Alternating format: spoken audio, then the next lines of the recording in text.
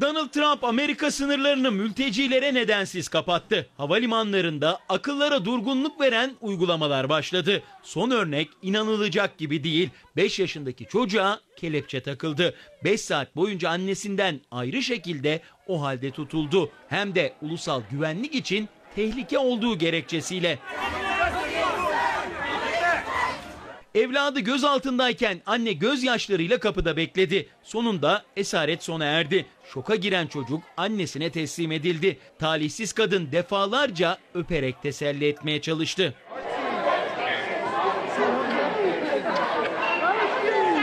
Trump'ın uygulamalarının son kurbanı olan çocuğun annesi İran uyruklu. Kendisi ise Maryland doğumlu. Yani Amerikan vatandaşı. Ancak yine de nedensiz yere ailesiyle birlikte ülkeye girişlerine izin verilmedi. Başkent Washington'da havalimanında 5 saat kelepçeli tutuldu.